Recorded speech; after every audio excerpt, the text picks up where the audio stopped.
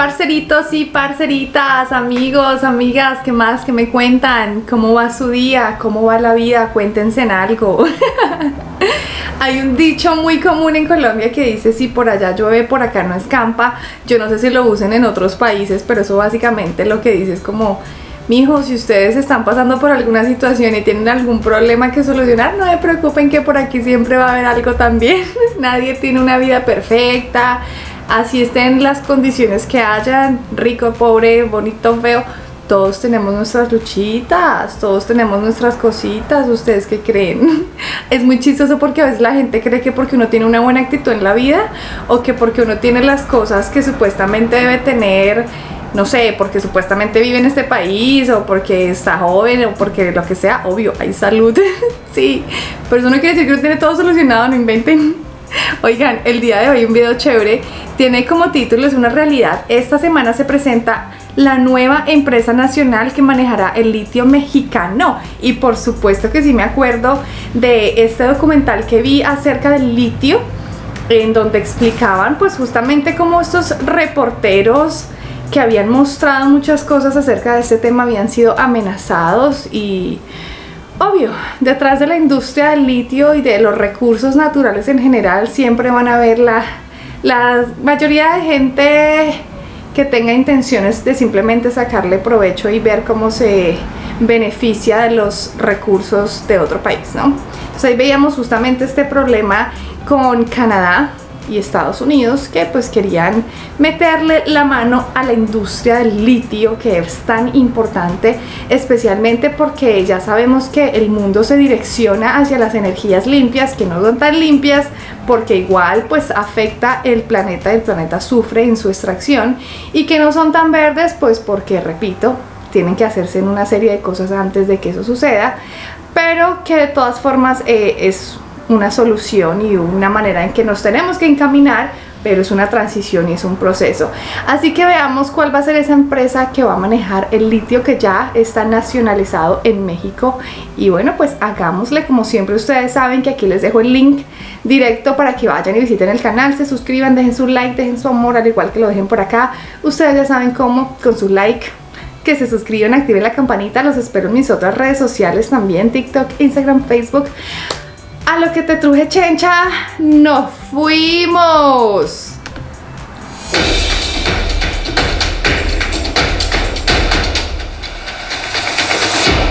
Conociendo México.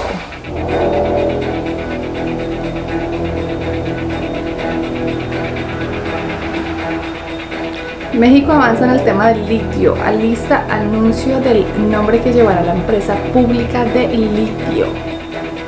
Desde hace unos años, el litio se ha implementado en el desarrollo de varios productos que se han extendido en el uso cotidiano de la mayoría de las personas en el planeta. Su aplicación más común es en la fabricación de baterías para celulares, computadoras portátiles, cámaras digitales y vehículos eléctricos, por lo que es muy probable que en este momento estés sosteniendo un poco de litio en tus manos. El litio, en aleación con aluminio y magnesio, fortalece la resistencia de estos últimos dos elementos, al tiempo que los vuelve más ligeros. Las aleaciones de magnesio y litio se emplean, por ejemplo, en chalecos y protecciones antibalas. En tanto que las aleaciones de litio y aluminio tienen aplicaciones en la aeronáutica, la fabricación de bicicletas y el armado de trenes de alta velocidad. Es por ello que el gobierno mexicano, dirigido por el presidente Andrés Manuel López Obrador, avanza con la empresa que se encargará del litio mexicano. Esto debido a que dijo que esta semana se dará a conocer el nombre de la empresa que manejará todo lo relacionado al litio, la cual llevará el nombre de México. En la conferencia de prensa matutina dijo que esta nueva empresa dependerá de la Secretaría de Energía. En el Salón Tesorería, el mandatario federal manifestó que afortunadamente solo son entre cuatro y seis empresas particulares que tienen concesiones para la explotación del litio en todo México. De igual manera, el presidente mencionó que se revisarán los permisos de explotación de ese mineral, pero garantizó que se reconocerán las que fueron entregadas para la explotación específica del litio. Dijo que son pocas empresas particulares afortunadamente, ya que si hubiesen entregado más concesiones para el litio, seguramente hubiesen entregado todo Sonora, como lo hicieron con las concesiones mineras en general, que entregaron 120 millones de hectáreas del territorio nacional, el 60% del territorio de México lo concesionaron. Entonces, en el caso del litio específico, son como cuatro o seis empresas. Y además se va a revisar si las concesiones hablan de litio, porque si no son concesiones otorgadas para la explotación de litio, no se pueden reconocer.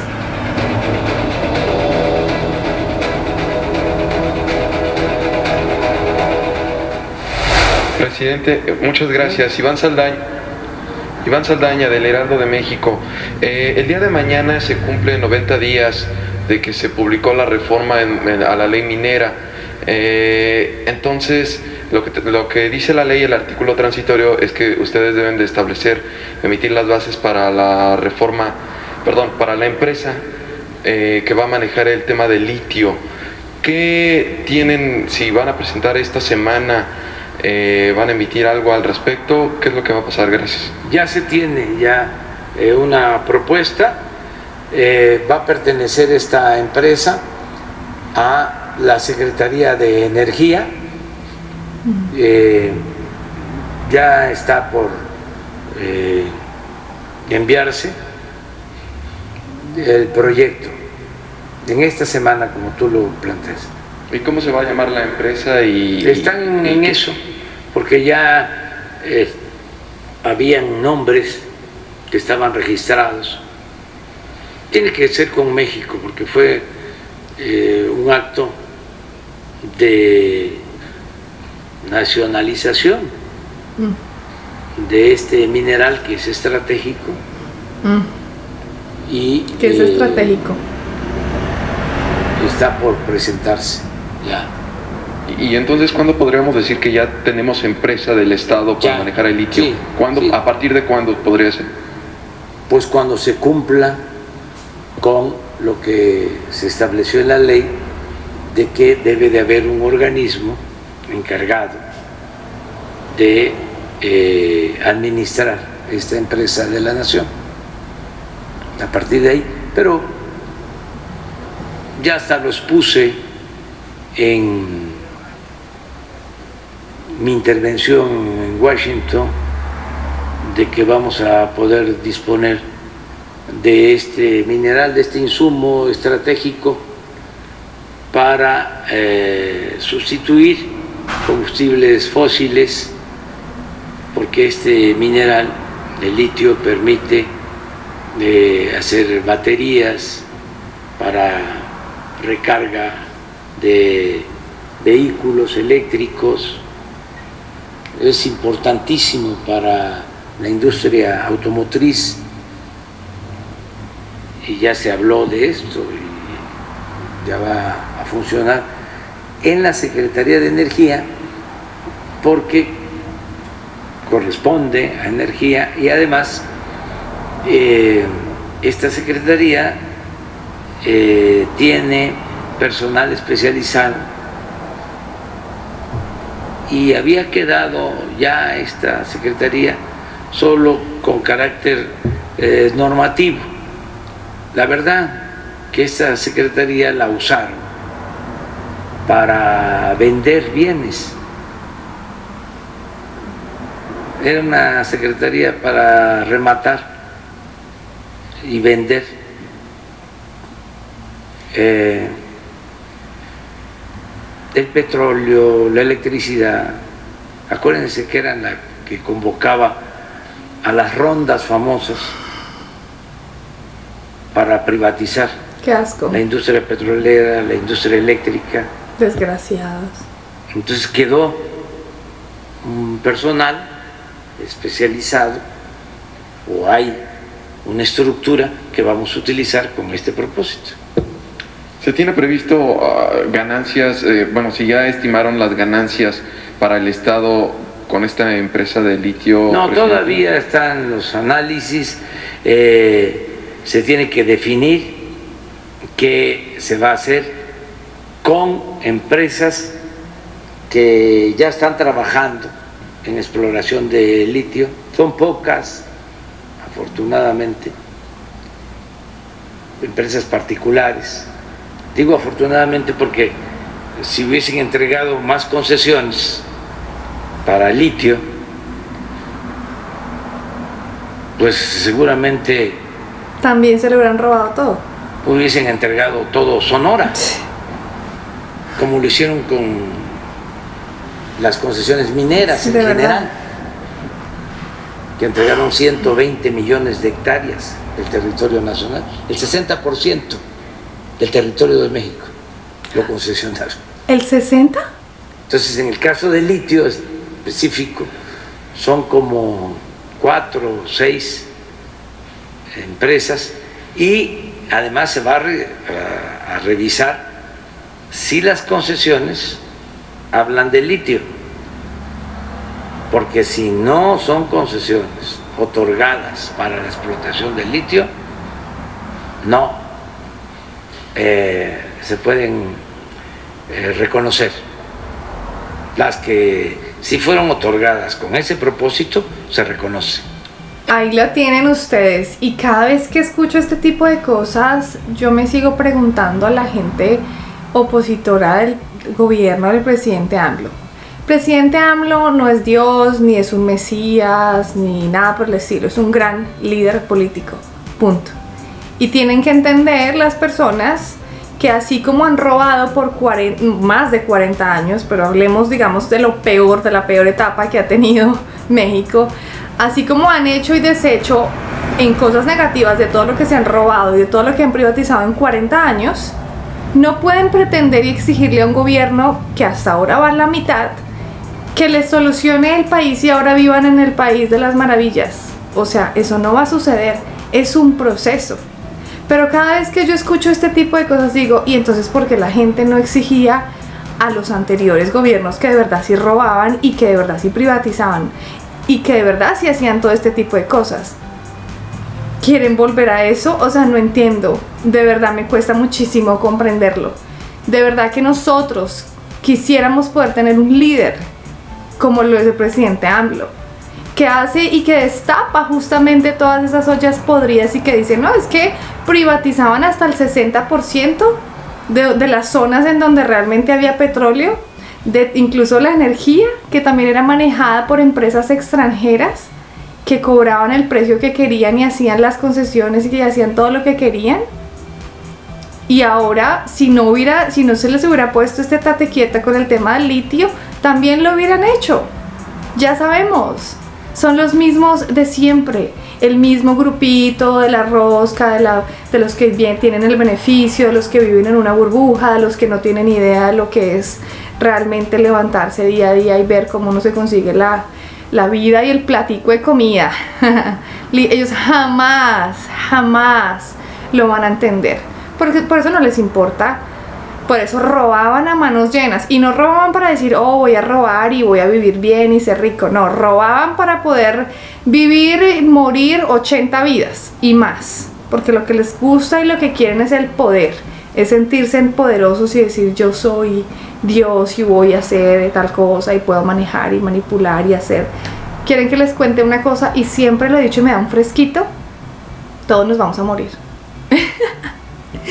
no importa lo que, lo que haya hecho, no importa toda la riqueza que haya acumulado, no importa si pasó por encima de la gente y fue una porquería o fue, todos nos vamos a morir. Usted puede tener la cantidad de dinero que quiera en los bancos, puede hacerlo y se va a morir también. Y eso es lo que le hace a uno estarse con los pies en la tierra todos los días de la vida. Somos todos seres humanos, valemos lo mismo, compartimos el mismo cielo independientemente. Eso es lo que ellos nunca van a entender. Pero pues porque lastimosamente nunca nunca han estado en una situación ni siquiera similar, ni siquiera parecida. Jamás han tenido que pensar que le van a dar de comer a sus hijos el próximo día o cómo van a brindarle educación, salud y una vida medianamente digna a su familia. Por eso es que hacían todo este tipo de cosas. Y ahora que viene un presidente que intenta rescatar de vuelta sus recursos para el país, para el beneficio de la gente que vive allí, tampoco, tampoco les gusta. O sea, no entiendo. Seguramente deben ser de ese mismo grupo de personas que se veían beneficiados o seguramente debe ser gente que no tiene eh, un pensamiento crítico y que se sigue informando con los mismos medios de comunicación tradicionales que lo único que han hecho es desinformar porque están pues comprados obviamente por los mismos de siempre, este pequeño grupo elitista conservador que lo único que hace y lo único que quiere es utilizar a la gente, a la masa, a la mano de obra, a los que pagan impuestos y ellos seguir viajando por el mundo, comiendo en restaurantes absurdamente costosos, viajando en yates y dándose la vida de reyes que no entiendo por qué se la tienen que dar así si son servidores públicos y se supone que claro, deberían tener un trabajo y un sueldo normal.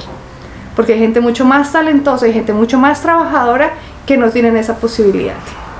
Así que con estos temas ustedes saben que me mueve la fibra cuando se trata de coger los recursos de la gente del pueblo y comérselos todos ellos, ahí sí es que yo digo no. Pero bueno, la solución ya se está dando y es justamente eh, la nacionalización de este recurso tan importante, este metal tan importante, tan preciado, justamente es llamado el futuro oro blanco. Y es que definitivamente sí que lo van a utilizar en muchísimos países, en unos más rápidos que en otros, dependiendo obviamente del avance tecnológico que tenga, pero es que ya sabemos que toda la parte de la energía es vital, es fundamental y justamente en esta transición hacia el uso de las energías limpias o energías verdes entre comillas, repito, porque el planeta sufre, pues igual hay que ver cómo se hacen. Y créanlo ustedes o no, eh, vienen, vienen otras guerras, como siempre, las guerras por los recursos naturales. Si antes era el petróleo, que todavía los necesitamos y lo tenemos que seguir utilizando mientras se da la transición, pues en el futuro va a ser y, y está haciendo también en estos momentos por el litio. Por eso era que lo querían esconder, por eso era que también estaban tratando de adueñarse de todo esto las compañías internacionales antes de que llegara el presidente AMLO. Por eso es que se libran otras guerras y otros golpes de estados, como por ejemplo el golpe de estado a Evo Morales, al presidente Evo Morales, el presidente de Bolivia. Sí, por litio, por litio, mijos. No inventen otras cosas. Y la mayoría de guerras que se eh, establecen en diferentes puntos en el mundo.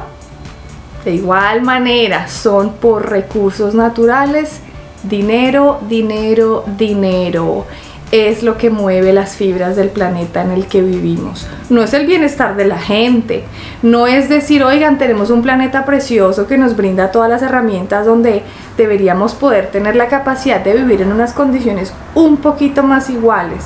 Yo no estoy diciendo que todos tendrían que vivir bajo las mismas condiciones, no, porque hay gente que estudia, hay gente que se prepara, hay gente que se sacrifica, que trabaja más que otros, pues claro que tienen que ganar más versus las otras personas que no quieren hacer nada, pues obvio, como deberían ganar lo mismo, ¿no?